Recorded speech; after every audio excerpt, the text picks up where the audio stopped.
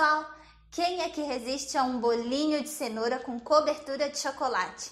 Eu realmente não conheço ninguém que não goste. Por isso, no vídeo de hoje eu vou mostrar como eu faço esse bolo que fica úmido e fofinho ao mesmo tempo. E a cobertura é aquela clássica e crocante casquinha de chocolate maravilhosa. Não esqueçam de deixar um like e compartilhar para ajudar o canal. E se ainda não são inscritos, inscrevam-se e cliquem no sininho para ativar as notificações e não perder nenhum vídeo. Então vamos à receita. Em um liquidificador, adicione 300 gramas de cenouras cortadinhas. Isso dá mais ou menos 3 cenouras médias. Agora eu vou adicionar uma xícara de óleo vegetal. Aqui eu estou usando o óleo de girassol, mas você pode colocar qualquer outro óleo.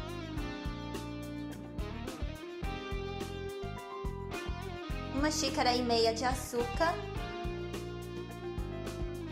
3 colheres de sopa de lecitina de soja granulada ou uma e meia da líquida. Se você não tiver em casa ou não encontrar lecitina de soja, você pode trocar por gel de linhaça ou gel de chia. Aí no caso também são 3 colheres de sopa.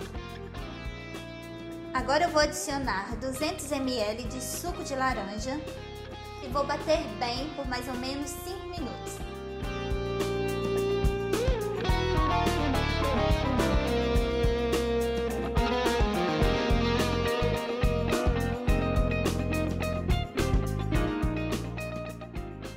Enquanto isso, em um recipiente eu vou adicionar 3 xícaras de farinha de trigo, uma pitada de sal e misturar um pouco. Agora eu vou adicionar metade do líquido aos secos e misturar.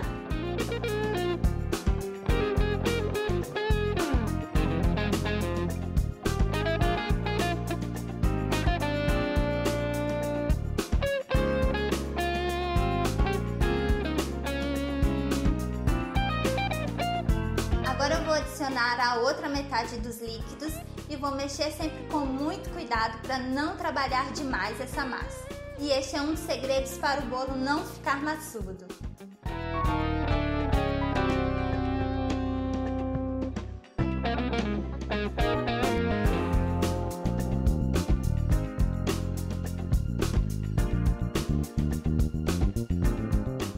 Agora eu vou adicionar uma colher de sopa de fermento em pó. E outra dica importante é colocar o fermento sempre no fim e verificar se ele ainda está ativo. Para isso, você pode fazer um teste, que é colocar um pouco de água morna em um copo, adicionar o fermento lá para dentro e se ele fizer borbulhas como se fosse sal de fruta, é porque ele, ele ainda está ativo e você pode usar.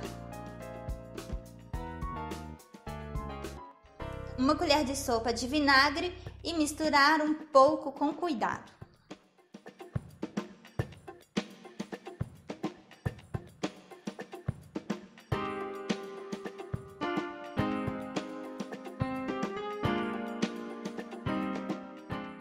Agora eu vou untar a forma com manteiga vegana aqui do canal. Vou deixar o link da manteiga aqui embaixo na descrição.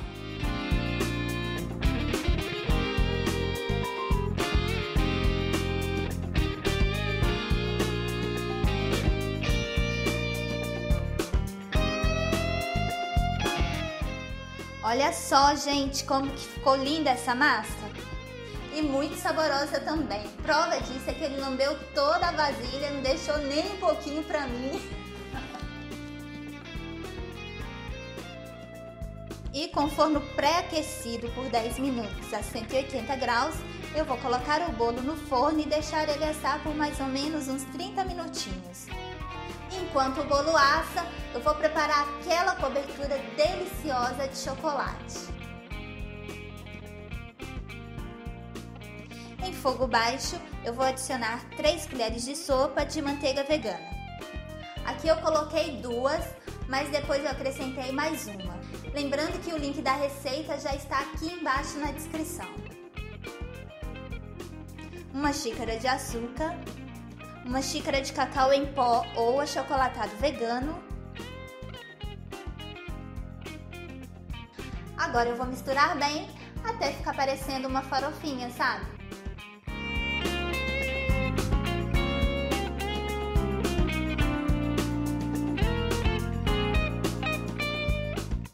Agora eu vou adicionar 5 colheres de sopa de água e mexer em fogo médio até começar a ver o fundo da panela.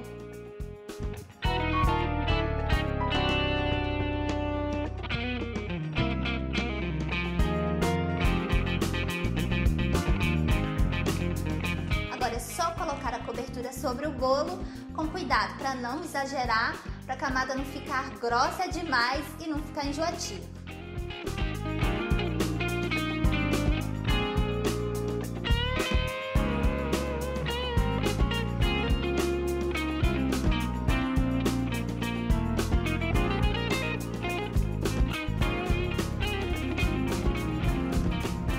Está pronto e até a próxima.